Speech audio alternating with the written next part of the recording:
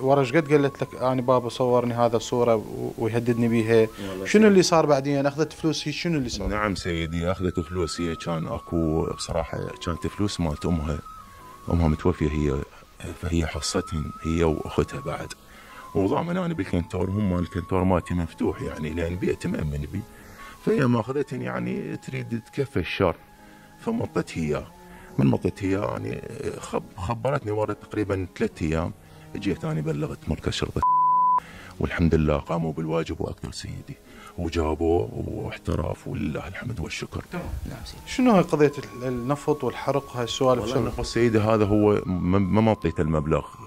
كله يعني اللي طالبته مثل بس 6 ملايين وصورات أكثر. فهدته يعني وقال لي ترى أحرق بيتكم أني. ففعلا قعدت الصبح للصلاة. لقيت البيت محروق من برا. نافط بالقاع. يعني استغربت. نعم سيدي هذا